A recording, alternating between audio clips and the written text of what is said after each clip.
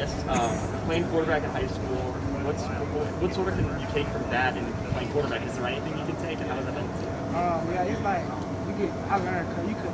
I know the coverages because quarterback you have to know coverages to make play quarterback. They make the coverages easy. Um, what was it like? Just kind of first chance to, to get out there. I know you played something last year, but you know, in front of a crowd and get game experience. It was fun. Really, I never like. I always like dreamed about it, but like being really, I never like another feeling. It was fun. How'd you think uh, after looking at film and stuff? How'd you think you played? I think I played good. I got a lot of stuff to work for. I think I played. Did, how did the switch overall go? I mean, uh, going from wide receiver to just the defense, you know, did it help you going up against some of the guys you're now playing with? Um, yeah, but like last year we had like COVID, we had a lot of people out, so like they asked me would I have a problem with it. I was like, no, I want to get on the field. So it was basically like that. So it started as a necessity, but now it's you know you couldn't see it going any other way. Yeah, I feel like I probably I don't know if I'll ever play offense again, but I say I love playing defense now. How did the process of switching positions work? Did they just like permanently? I guess when it, when it was a necessity, did they tell you like you know, would you be down to do this permanently? And you said yeah, or did they just kind of say you were? Um, basically it was like It was like at first they needed me, like um, they seen I was kind of good at it, so I just basically kept on, kept getting better. at it. What have you seen now that just looking at Kentucky so far? I don't know how much how much film you guys watch. Um, I see they they got a good quarterback, get on line. They got a good dynamic playmaker, so we, we all got to be dialed in this week to stop them. How much different do they? I mean, I don't even know if you were in the defensive meetings last year when you guys played them, but I mean, they ran they barely threw the ball last year. Now they I think they threw for 400 uh, on uh, on Saturday. Yeah, I think yeah they just got a new offensive coordinator, so they just they learning new stuff too. So we just got to be dialed in and running and passing. What have you relied on? I guess to sort of learn the position. I mean, it's sort of a newer, I guess, thing for you, and I never. Who have you sort of leaned on that for help? I, I lean on like everybody I can lean on that that'll like help. Yeah, I lean on everybody. It wasn't just my person. Is there, is there anything universal about playing either high school quarterback or wide receiver here or defense here that you've used kind of overall? I, I, I think I use all of them for real because like receiver is ball skills on defense. And quarterback is just knowing where I have to be on the field and what covers I'm playing. Have you found a home with the defensive backs for a year or two? Uh, I'm pretty, yeah, I have. Um, we all we all have a good relationship. We all know each other. When did you actually start going to those defensive meetings last year? It was probably South Carolina week, I think. That was the first meeting, defensive meeting I went to. Did it, did it feel odd kind of just switching or is it just your routine or how did that go? It, it did feel odd because I remember I came out here and I went to the receivers because I had like basically forgot I was still in that defense. But now it's home. There's no Any other questions? Where do you think the unit goes collectively from here after week one performance? I feel like we we going um, There's a lot of things that we have to improve on, as you guys have probably, you know, already commented about the game uh, this past week. Definitely one of the things that we got to make sure that we show up is our run fits. We got to stop the run. Kentucky does a great job of running the football. I think Rodriguez had uh, probably 125 yards rushing last week. Uh, very dynamic football team. Look at their offensive line, it's probably, if not uh, one of the best, if not the best, one of the best in the uh, SEC. So uh, we got our hands full up front. You know, very massive. They come off the ball, do a great job, and they do an outstanding job for us protecting the quarterback as well. Uh, on the outside, you look at their receivers. You know, Robinson transferred from Nebraska. Uh, the, the guy's phenomenal. You know, uh, can take the top off at any moment. And Ali, as we know, uh, what he can do, and you know, he did it last year. So uh, it's a challenge for us, and uh, we're definitely uh, looking forward to it. You mentioned the, the rushing ability of Kentucky. They now got a quarterback that threw for over 400 yards, I think, the other day. Uh, what, what does that dynamic add to their offense? Well, I, I think it's just exactly what you just said. Their balance, you know, it creates a lot. And when you can run the ball and then also create the play action off of it, it makes them a very explosive offense. So we got to do a, a great job of trying to make these guys one-dimensional, which is number one, stopping the run first and making sure that we don't give up big shots over the top. Steve, I know there was a lot of talk last spring about playing a little less man and more zone. Did you, did you guys play more man than, than you planned on Saturday? I know Coach Stoops said he, he thought you were in it a lot. Uh, you know, when you look at the film, yes, we did, based off the uh, situation in the game, just really trying to create a little bit of pressure up front and uh, try to get out the quarterback, which I thought we did pretty good at times, uh, you know, ending up with a nine sacks. So uh, we got to do a much better job for us getting pressure up front without, without blitzing all the time. So that's one of the key things that we're looking to do this week. Stuff in the, the run defense easily fixable? Would you feel like you fixed it overtime during the game on, on Saturday once you got the second Uh, half? uh, I do. When you really look at it, it wasn't really like a lot of problem runs. You know, it was really one guy at one point in time not executing and doing their job. So we got to do a much better job of really being disciplined, still working our fundamentals and technique, and really just staying into our gaps. Marquez on Saturday said something. You created some sort of play like right on the fly, like on in the ground or something like that. Like, what do you remember about that at all? And how much of those adjustments do you like to do in the, in the game?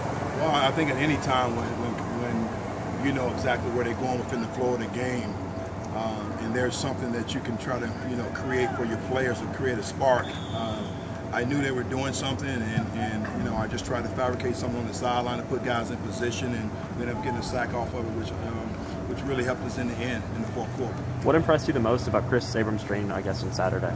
Well, number one, you know, being an offensive guy, coming over here and having the first shot at playing defense and starting, I thought he performed well. You know, uh, the lights weren't too big for him, number one, and uh, I thought he did a good job in coverage. He made a great play down the sideline and breaking the arm, something that we teach and talk about all the time. So he's only going to continue to get better. Our biggest thing as a team right now, most importantly, the defense, you know, is game one to game two. We got to make a major step in our improvements, and that's what we're looking to do this week.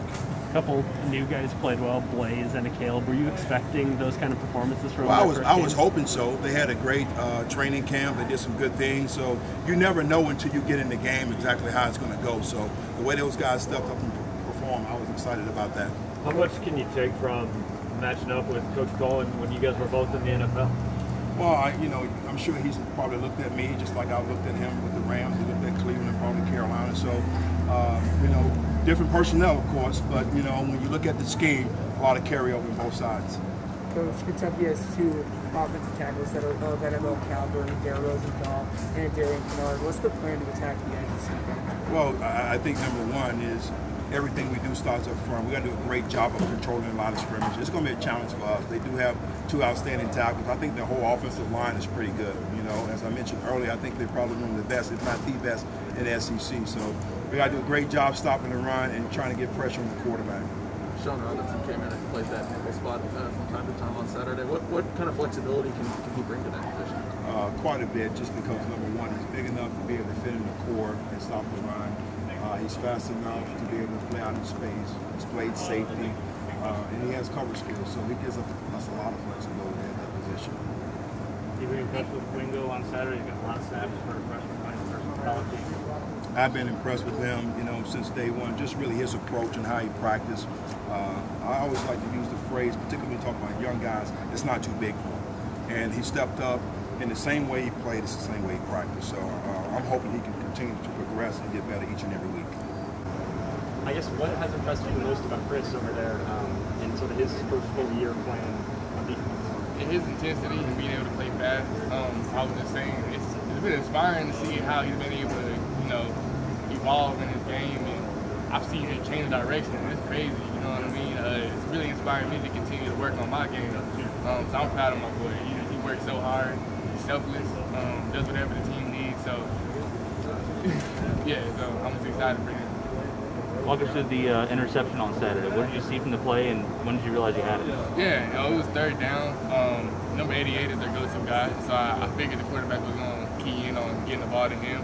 Um, and he, you know, released outside, and I was just feeling the pressure. And as soon as he broke, you know, I felt like I was in a good position, so I looked back, saw the quarterback about to throw it, and just undercut it. And he actually threw it behind him, so I caught it. As soon as I got it, you know, got up, ran to the end zone. I didn't really know what to do with it at that moment, but I just ran to the end zone, just felt the energy from the crowd, so it was lit. You said you had a celebration that you had planned, but did you Yeah. get to do it or you forgot? you know, in the moment I wasn't thinking about it. I probably got a flag for it anyway, so Yeah, it's a good thing I didn't do it. But nah, I, I think next time I'm gonna get an interception. I'm gonna go to the sideline. I'm gonna do a little dance for y'all. So it's gonna be good. I'm gonna be ready. Was that wasn't? I think I remember that's your first college interception. Yeah, yeah. I mean, just was that everything you thought it would be?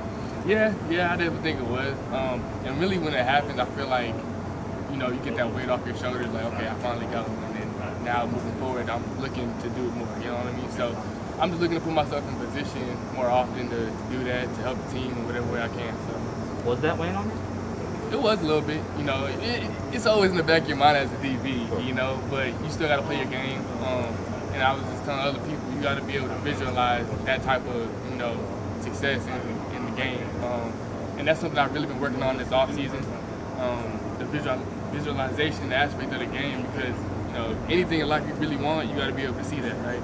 So that's really what I did and came to fruition. As an older guy, do you feel like you're like sort of taking on the leadership role of guys like Chris and other stuff? And like, what do you, if you have, like, what have you, what do you sort of try to explain to them, teach them about what, you, what you've been? Yeah, most definitely. I think the key uh, aspect I bring is, you know, showing them what professionalism looks like. You know, um, you're never too young or to be a pro. Um, I see freshmen that have pro mindset, right? So I just try to bring that to them if they don't already have that. Um, and they, they embrace it. I feel like we're all taking on that challenge of playing like a pro and studying like a pro, um, no matter what the situation is. So that's the type of leadership I try to bring. Um, I feel like I've done a decent job so far. Freshman on the team, do you think so far have shown that pro mindset? Man, in terms of the DBs, um, I know DJ. I, I've had conversations with him um, just about, you know, what does that look like, you know, as a young guy? Because I was told when I was a freshman, you're never too young to be a leader. Leadership has no age, so I try to instill that in him within our room and stuff like that. And I even talk, like, it don't matter who it is, whether it's a freshman or a walk-on. Like, most of the guys I'm typically cool with, honestly, are walk-ons because they had a mindset, like, I'm gonna go get it, right? So it's easy to have those type of conversations with them too. So, You know, first game in the SEC, wearing the Z uniform, Matt Farrell. What did it feel like? Nah, it was amazing. Um, you know, before the game, you might have some jitters and stuff like that, but once the ball's kicked off, you know, you're just locked in. You know what I'm saying? And then whenever you make a play, you hear the crowd, and it excites you, it motivates you even more. So it was definitely lit. Uh, I love, I love the atmosphere, and I can't wait to, you know, be in that position again. You know, we talked a little bit about it already, but or we talked to Chris about it, but you know, this Kentucky offense brings a lot to the table. You Yeah. know, transfer quarterback who threw almost for 400 yards last week, four touchdowns. A transfer in Wan'Dale Robinson who can do a lot on the outside. What's the game plan from the cornerback standpoint? Yeah, just be physical. Um, you know, anybody who is whether it's fast or explosive offense, you just got to be physical with them, slow them down. Um, so that's our mindset going in in the game, really. But um, I feel like if we establish physicality throughout the defense, we're going to be good, especially in the cornerback room. I feel like we're going to do that. So look for that.